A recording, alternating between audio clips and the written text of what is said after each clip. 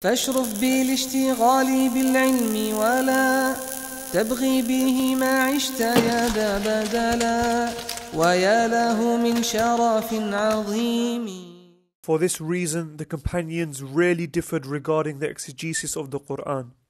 This difference occurred more in the time of their students, the Tabi'un, but was still considerably less when compared to later generations.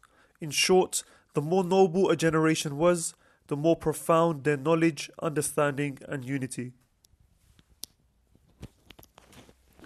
ولهذا كان النزاع بين الصحابة في تفسير القرآن قليلا جدا وهو وإن كان في التابعين أكثر منه في الصحابة فهو قليل بالنسبة إلى من بعدهم وكلما كان العصر أشرف كان الاجتماع والائتلاف والعلم والبيان فيه أكثر Now we move on to the fourth point.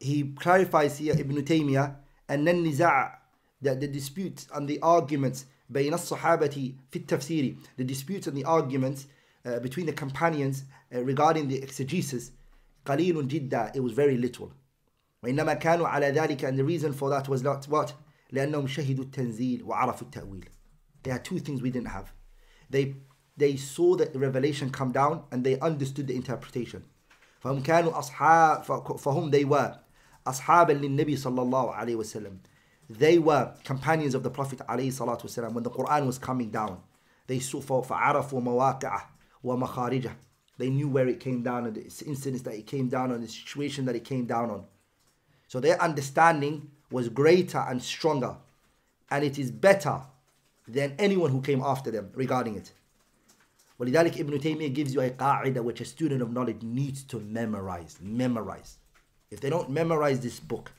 but just this principle alone it, it, it's, it's enough for a person to memorize which is كلما كان العصر أشرف every time a generation is noble and great كان الاجتماع والائتلاف والعلم والبيان فيه أكثر the unity والعلم and the knowledge and the clarification is greater however whenever a nation or a people are noble and they're good then the unity is there for them so first of all when the people are good and now we ask ourselves why has the companions their disputes and arguments didn't get between their unity. They didn't get between their unity. Why is it that? They disputed, they argued on issues. Ma'adalika, the ijtima' and the ittilaf was present amongst them. It was present amongst them. The reason for this, yarji'u ila amran, it goes back to two things. First one was salamatul qalbi mudraki sorry سلامة القلب سلامة القلوب المدركة وصحة العلوم المدركة The first one is their hearts were pure. The heart which was understanding the exegesis of the Quran was a pure, clean heart. Their hearts were empty from al-ghish wal-daghal wal-hasad. They didn't have all of that in their hearts. They also didn't have in their hearts what? Preconceived notion. They were not يستدل يعتقدون ثم يستدلون فيضلون they were not believing something before the verse came and having a preconceived notion that was getting in their way to accept what the Quran is saying they weren't like that they actually looked for the answers in the Quran so that was the first reason سلامة القلوب المدركة their hearts was pure there was no there was no hate jealousy envy there was none of that in their hearts they also had no pre- preconceived notion. So when the evidence came to them and it reached them, they were so happy and they're so excited to take the ruling from the verse. You with me? In other words, their heart was empty from two things, two illnesses which destroy the heart, which is istila amrad shubuhat wa shahawat. There was no shubha, shubha in their hearts and there was no shahwa in their hearts. And this is the path that many deviated groups fell into. The second reason is because صحة العلوم المدركة. The knowledges which they had was knowledge which was clean. The knowledge which they had was clean. They were not busy with philosophy, ilm al-kalam and whatnot. Their ulum was ilm safi, clean and pure. And also their understanding was also pure. Their understanding was greater than the understanding of those who came after. Because of the fact, as I mentioned, they were there when the revelation came down. They saw it with their two eyes. They knew فَعَرَفُوا مَوَاقِعَ وَمَخَارِجَهُ They knew the places it came down on and on the situations in which it came down on. And that's why Ibn Rajab al-Hanbali wrote a book called علم فضل علم السلف على علم الخلف. The virtue of the knowledge of the Salaf over the knowledge of the Khalaf. They were they, they're better. Now. The point here is that the Tabi'un studied the exegesis of the Quran from the companions just as they took from them the prophetic sunnah. They would also comment on the Quran using their deductions, basing them on other evidences, just as they did with the hadiths of the Prophet sallallahu alaihi wasallam. والمقصود أن التابعين تلقوا التفسير عن الصحابة كما تلقوا عنهم علم السنة وإن كانوا قد يتكلمون في بعض ذلك بالاستنباط والاستدلال كما يتكلمون في بعض السنن بالاستنباط والاستدلال. This is the fifth one, which is the last one for the first chapter. The Shaykh Rahimahullah mentions that the Tabi'een, Tabi'een are who? The students of the Sahabas. They تلقوا التفسير, they took the exegesis عن الصحابة from the companions. كما تلقوا عنهم علم السنة, the way they took the sunnah from them. This is a sanad. This is a chain. The knowledge is what? Taken from one generation, takes it from another generation, takes it from another generation, takes it from another generation. And that's why uh, Muhammad ibn Sirin said, إن هذا العلم دين فانظر عمن تأخذون دينكم. Abdullah ibn Mubarak said, الإسناد من الدين ولولا الإسناد لقال من شاء من شاء. What saves this religion and protects this religion is chain of narration. He says, if it wasn't for the chain of narration, Abdullah ibn Mubarak, everybody would have said whatever they wanted. Somebody would have just come today and said, the Prophet did this. And who could stop him? But we're going to ask him, where is your chain for this? Are you with me? Where did you get this from? Give us your chain. Give us your sanad. So they took the tafsir from the companions. Are you with me? They took the tafsir from the companions. The companions took it from who? The Prophet. How did they take it from the Prophet? Tafsir, which is the bayan, which is khas, or the bayan, which is am. The two types of tafsir that the Prophet did, right? They were there and they saw it and they took it from him The Sahabas. The Tabi'een came and they took it from the companions. And from those who took from the companions directly was Mujahid ibn Jabrin. مجاهد رضي الله عنه ودري سي عرضت عرضت المصحف على ابن عباس ثلاث عرضات مجاهد بن جبر ودري سي He said, I opened the Mus'haf three times. From the beginning to the end. أوقف عند كل آية. Every verse I will stop him. And I say, what's this verse? What's this verse? What's this verse? Ibn Abbas. So Mujahid actually took the first type of tafsir, which was what? Bayan khas, which was what? Word for word, he took it from Ibn Abbas. Word for word. Another one is Abu al-Jawza. Abu al-Jawza, what did he say? Jawartu Ibn Abbas ithnay. I was a neighbor of Ibn Abbas for 12 years.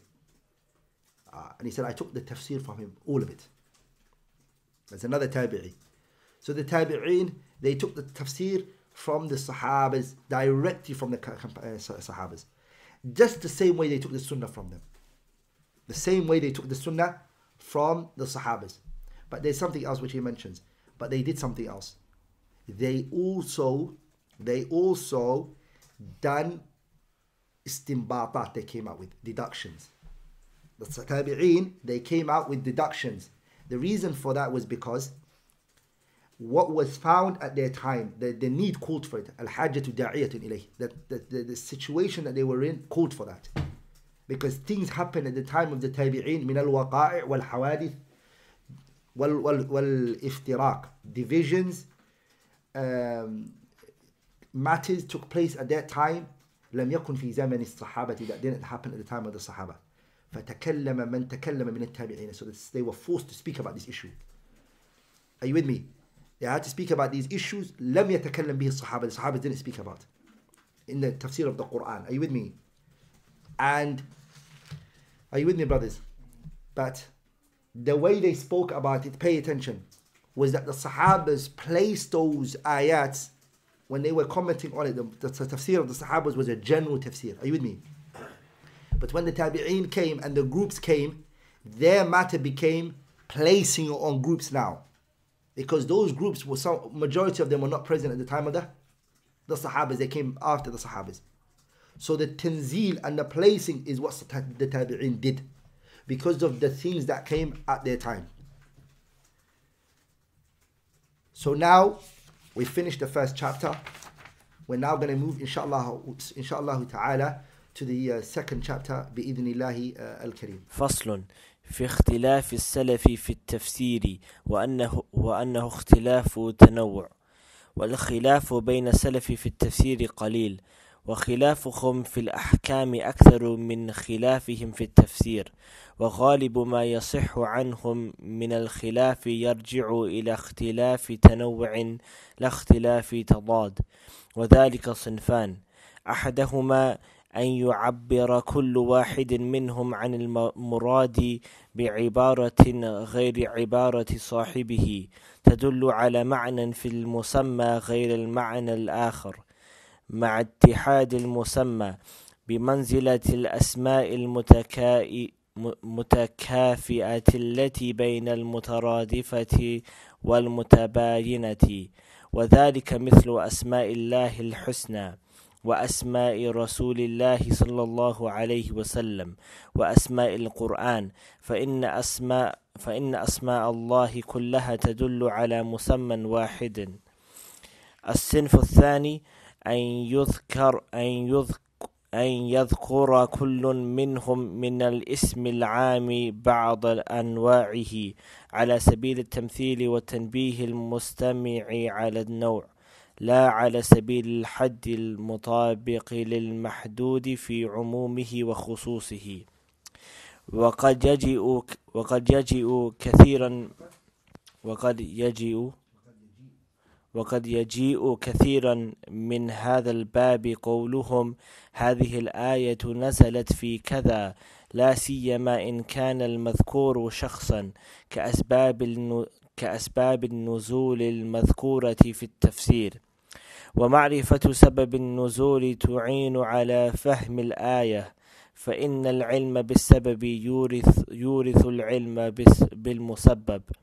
وقولهم نزلت هذه الآية في كذا يراد به تارة أنه سبب النزول ويراد به تارة أن هذا داخل في الآية وإن لم يكن السبب كما تقول عنا بهذه الآية كذا. وإذا عرف هذا فقول أحدهم نزلت في كذا لا ينافي قول الآخر نزلت في كذا. إذا كان اللفظ يتناولهما كما كما ذكرناه في التفسير بالمثال. وإذا ذكر أحدهم لها سببا نزلت لأجله وذكر الآخر سببا فقد يمكن صدقهما بأن, بأن تكون نزلت عقب تلك الأسباب أو تكون نزلت مرتين مرة لهذا السبب ومرة لهذا السبب. وهذان الصنفان اللذان ذكرناهما في التنوع في, في التنوع التفسير. هما الغالب في التفسير سلف الأمة الذي هما الغالب في تفسير سلف الأمة. هما الغالب في تفسير السلف الأمة الذي يظن أنه مخ مختلف. ومن ومن التنازع ومن التنازع. ومن ومن التنازع الموجود عنهم ما يكون اللفظ فيه محتملا للأمرين. إما لكونه مشتركا في اللغة كاللفظ قس قسورة. كلفظ القص فلفظ قسورة. كلفظ قسورة. الذي يراد به الرامي ويراد به الأسد واللفظ عسعس. الذي يراد به إقبال الليل وإدباره وإما لكونه متواطئا في الأصل لك لكن المراد به أحد النوعين أو أحد الشيئين كالضمائر في قوله ثم دنا فتدلى فكان فكان قاب قس قوسين أو أدنى. وكاللفظ والفجر وليال وكلفظ don't place a shade on it وكلفظ وكلفظ والفجر وليال عشر والشفع والوتر وما أشبه ذلك فمثل هذا قد يراد به كل المعاني التي قالها السلف وقد لا يجوز ذلك When you read والفجر, it's a place. You say والفجر. Don't put there. والفجر نعم. و- والوتر. وت there's a سكون on it. هي؟ نعم. ومن الأقوال ومن الأقوال الموجودة عنهم ويجعله ويجعلها بعض بعض الناس اختلافا أن يعبروا عن المعاني بألفاظ متقاربة لا مترادفة مترادفة فإن, فإن الترادف في فإن اللغة الترادف فإن الترادف في اللغة قليل وأما في, في, في ألفاظ القرآن فإما نادر وإما معدوم. وقل أن يعبر عن لفظ واحد بلفظ واحد يؤدي جميع معناها معناه بل يكون فيه تقريب لمعناه وهذا من أسباب إعجاز القرآن. ومن ومن هنا غلط من جعل بعض الحروف تقوم مقام بعض وتحقيق ما قاله نحاة البصرة من من التضمين. وجمع وجمع عبارات السلف سلف في مثل هذا نافع جدا لأن مجموع عبا- عباراتهم أدل على المقصود من عبارة أو عبارتين. ومع هذا فلا بد من اختلاف محقق محقق بينه بي- بينهم كما يوجد مثل ذلك في الأحكام Chapter Differences of opinion amongst the predecessors in the exegesis of the Quran, a difference of variation. The predecessors differed little in the exegesis of the Quran, however, they differed considerably more in issues related to rulings, ahkam. Whenever they do differ in the exegesis of the Quran, it is more a difference of variation than contradiction. This is of two categories.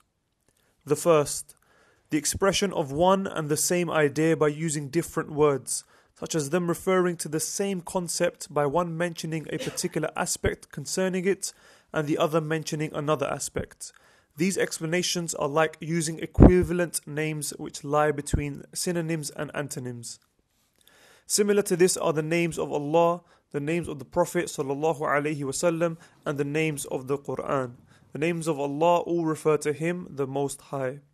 The second category, to mention by way of example and illustration some aspects of the general term being referred to in order to draw the attention of the listener to the type of thing that is being referred to and not to completely define the boundaries of the word.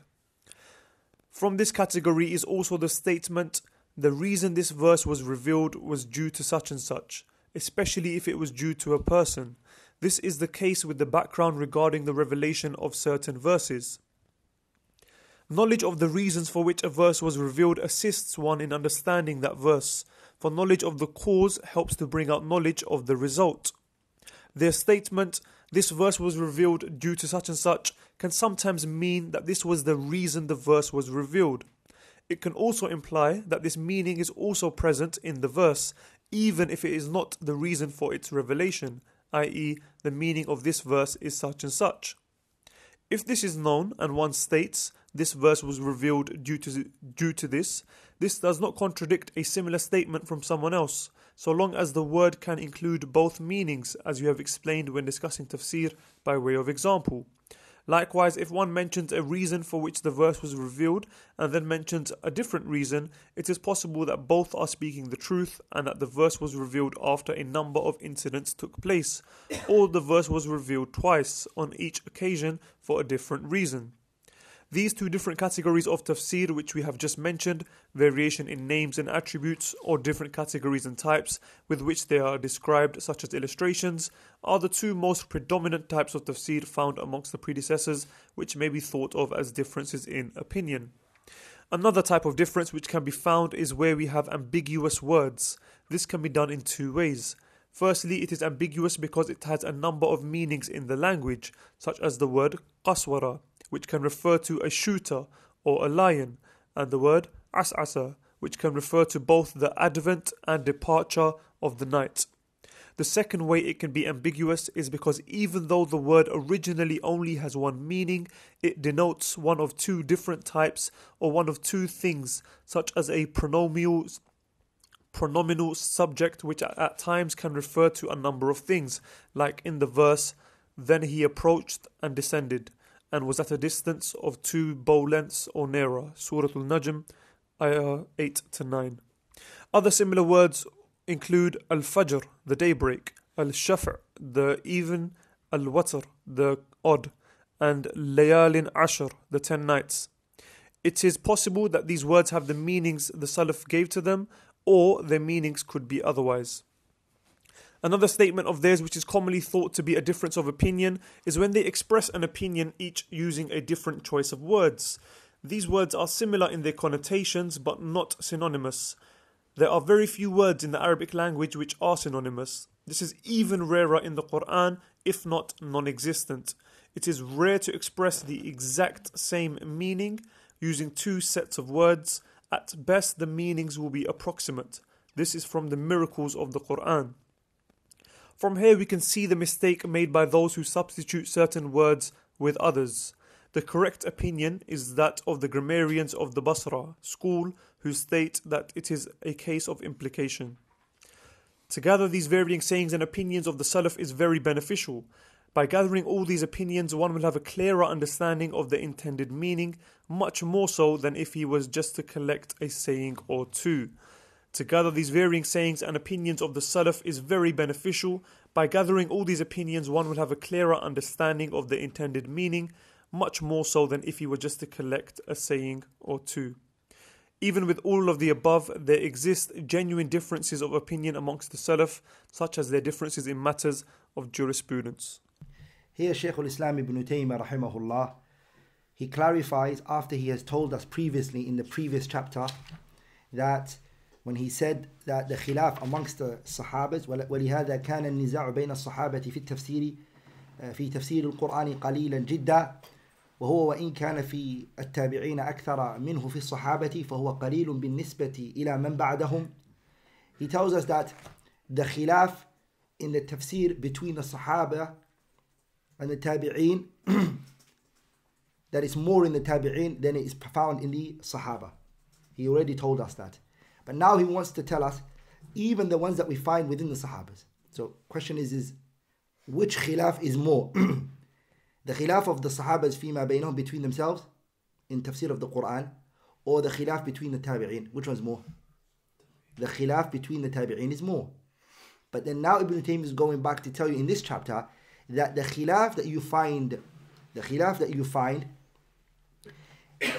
at the Salaf, including the Sahabas and the Tabi'een, majority of them is, I mean, the overwhelming of it, overwhelming اختلافات is something that is known as اختلاف التنوع لا اختلاف التضاد لا اختلاف التضاد the majority of the khilaf amongst the sahabas is known as اختلاف التنوع اختلاف التنوع means ما يمكن فيه صحة المعنيين معا it's something which you can say both meanings are correct meaning there's a way to reconcile between the two statements.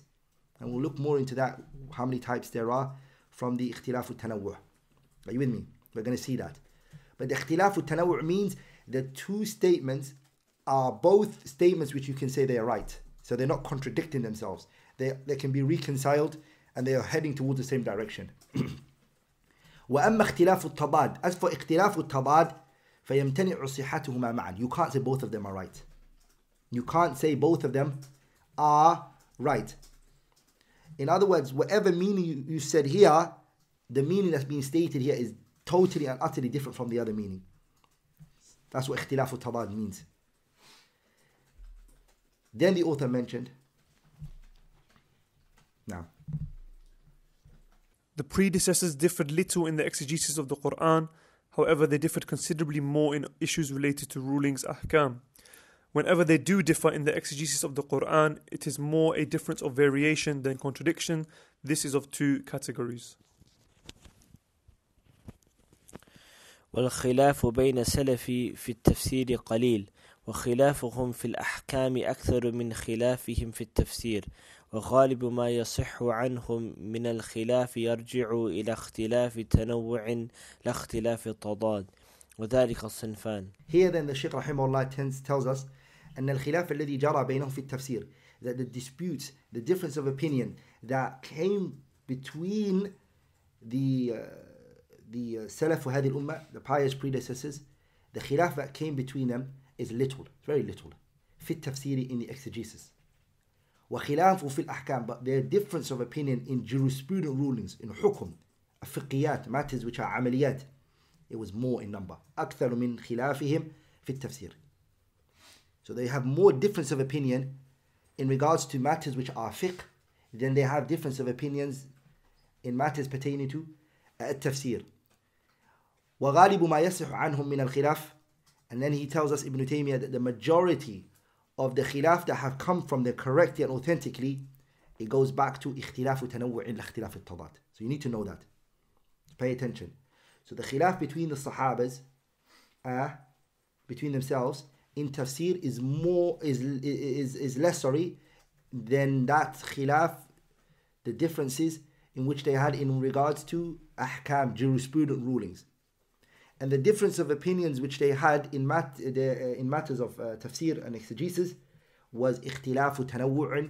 لا اختلاف التضاد and then the author rahimahullah what he's now going to say is the the اختلاف التنوع in tafsir يرجع إلى أصلين it goes to two fundamental reasons two underlining reasons he's going to now tell us that أن الاختلاف التنوع بينهم the, the اختلاف of the differences of exegesis between them يرجع إلى أصلين it goes back to two he's going to now tell us in the second point so now we've taken the first point this this chapter it has 13 points how many points does it have 13 points so we've now taken the first point we're now moving on to the second point now The first, the expression of one and the same idea by using different words, such as them referring to the same concept by one mentioning a particular aspect concerning it and the other mentioning another aspect.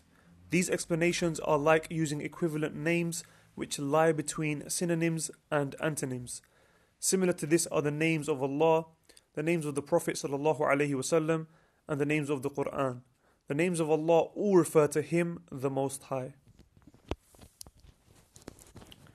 أحدهما أن يعبر كل واحد منهم عن المراد بعبارة غير عبارة صاحبه تدل على معنى في المسمى غير المعنى الآخر مع اتحاد المسمى بمنزلة الأسماء المتكافئة التي بين المترادفة والمتباينة. وذلك مثل أسماء الله الحسنى وأسماء رسول الله صلى الله عليه وسلم وأسماء القرآن فإن أسماء الله كلها تدل على مسمى واحد The Sheikh here now mentions the first reason, the first asal of which اختلاف التنوع in tafsir goes back to. The first one is أن يعبر كل واحد منهم. Each and every one of them uses a term other than the term that was used by the other one. Are you with me? But they're all indicating the same that. They're speaking about the same thing. Everyone is choosing to use different descriptions and attributes of that thing. دالة على ذات واحدة. It shows one thing but على معنى ليس في العبارة الثانية. You don't find that in the what? You don't find that. So everybody is explaining the- and talking about the same thing, but everybody chooses what? Pay attention. Chooses a different word. Are you with me, brothers? But each one, the word that they've chosen has a meaning that's not in the other one's wording. Okay? So both of them are talking about the same that. They've taken different wordings, and the meanings that are in the wordings are different. So they're differing in the wording, and they're differing in the meaning, but they're not differing in the thing that they're talking about. Okay?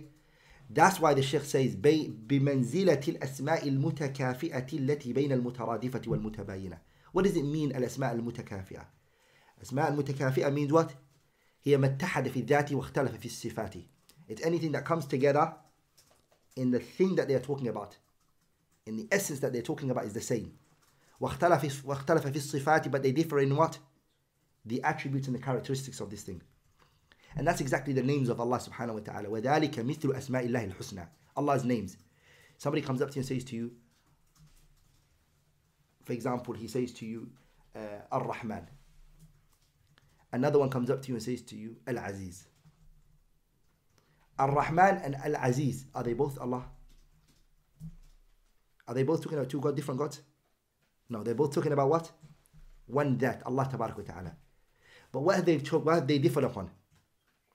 the wording. Each one is taking a different wording. But they're also different in the meaning because in the meaning of Ar-Rahman is not what's in the meaning of uh, uh, uh, Al-Aziz. Ar-Rahman means the rahmatil wasi'ah, صح? And Al-Aziz means Al-Ghalibu fi amrihi. Ar-Rahman means one who's merciful. And Al-Aziz is the one who wants something and it will happen in accordance to how he wants it, subhanahu wa ta'ala. Are you with me? That's the first type he says. أن يعبر كل واحد منهم that each one would use عن المراد بعبارة غير غير عبارة صاحبه تدل على معنى واحد. They're showing one meaning and one essence here. But they're not showing the same meaning and the same wording is not being used here. Are you with me?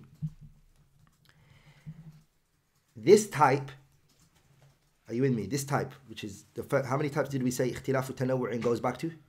We said two. We've met, explained the first one right right now. صح? That has three categories that come out of it. وهذا الصنف الأول the first type من اختلاف التنوع له ثلاثة أنواع it has three types the first one is are you with me it is describing the word describing the word تفسير الكلمة بمعناها الذي وضعت له شرعا أو لغة you're, going back to you're using this and you're explaining this with a word that the Sharia has used or the language has used. Don't worry, an example will come. The first one is تفسير الكلمة. You describe the word بمعناها الذي وضعت له شرعا أو لغة. By a term coined and done by the Sharia. The Sharia used it. So you use you're, you're going according to what the Sharia already said about it, or the language that's already been said by it. The second one is, are you with me? Tafsirul kalimah. You describe the word. Are you with me? Or you do tafsir of the word بمعنى الذي تضمنته. That which it consists of it. That which it consists of it. Last but not least, تفسير الكلمة describing the word بمعنى لازم لمعناه الذي وضعت له. You're describing this word based on that which necessitates from it. And that's the three dalalat that we always speak about. Dalalatu, the dalalat lafdiyya, the three types. Dalalatu al-mutabaqa, dalalatu al-tadammun, and dalalatu al-iltizam. صح? We, gave, we give examples always for a house, for instance. A house, when you say it, you will think automatically doors, you know, you would think of uh, rooms, you would think of a kitchen, you would think of a toilet, you would think of rooms, a living room, a sleep. All of that is dalalatul mutabaq. It's what the word is being placed to have all of that in, in it. Dalalatul tadammuni is when you take a portion of that house. For example, if you say door, if you say a room, that's dalalatul tadammuni. Dalalatul iltizam is basically if there's a house, if there's doors, if there's locks, if there's kitchen, if there's toilet, then that means somebody must have made it. So what happens here is that when the tafsir is being done, one would take the dalalatu al-mutabaqah, one would take the dalalatu tadammuni, and one will take the dalalatu iltizam. Let's give an example of that. ومثل ذلك بتفسير الصراط المستقيم. The word صراط المستقيم. there have come three tafsir from the Salaf. Some said it means al-Islam. That's dalalatul mutabaqa, which is the first type. It's using the word for what the Sharia placed for it. Are you with me? How has the Sharia placed this word? Based on the hadith of Nawas ibn Sam'an. Imam Nawas ibn Sam'an narrated sanadin hasanin. And it's a hadith which is very long. The Prophet when did he say as-siratul Islam, sah? The Prophet said that. Are you with me, brothers? So this is dalalatul mutabaqa. The Prophet's statement sallallahu alayhi wasallam is set and it's placed. So it is تفسير الكلمة بمعناها الذي وضعت له شرع شرعة أو لغة صح؟ Here Sharia placed this one and he gave it a meaning. Are you with me? The, the دلالة التضمن means to say طريق العبودية, the path to servitude. That is تفسير للكلمة بمعنى الذي تضمنته. That's it describing and explaining the word, meaning that it consists of. صحيح? Islam consists of many things. Ibadah is one of it. Are you with me? That it consists of. It has mu'amalat. It has other things that it consists of.